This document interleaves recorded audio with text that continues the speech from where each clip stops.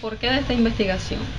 Eh, desde pequeña he observado este tipo de fiesta y siempre me llamaba la atención el hecho del tipo de música que colocaban, las personas que asistían y todo lo que ellas guardan.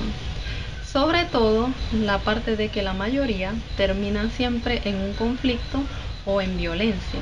¿Por qué hemos venido trabajando combatiendo este tipo de fiestas conocidas como Open?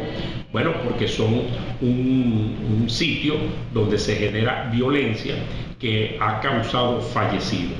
En el, 2015 hubo eh, nueve fallecidos por armas de fuego en este tipo de eventos, en el 2016 11 fallecidos eh, por armas de fuego allí, hemos encontrado menores de edad, consumo de drogas, eh, indocumentados, extranjeros ilegales en el país y toda esta actividad. Toda sociedad pasa por un proceso, tiene sus normas, reglas y todo lo que tiene que cumplir dentro de un patrón eh, eh, de orden.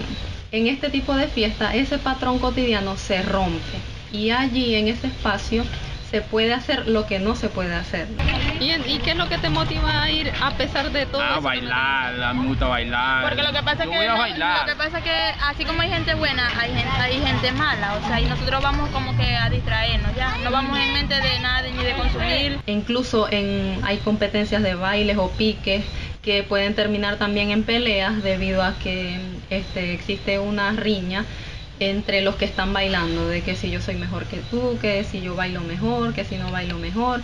Y entonces todo, es, todo esto invade ese espacio y por ende serían los primeros elementos con los que puede con los que se puede generar violencia. Eh, los piques son por culebras que me dijiste, pero entre malandros también. Sí. Asisten malandros, entre bandas. Claro, existen bandas, siempre andan armados, pero nosotros nos alejamos o sea, no estamos ahí al lado de ellos, pues, para que no, no, no lo agarren con nosotros.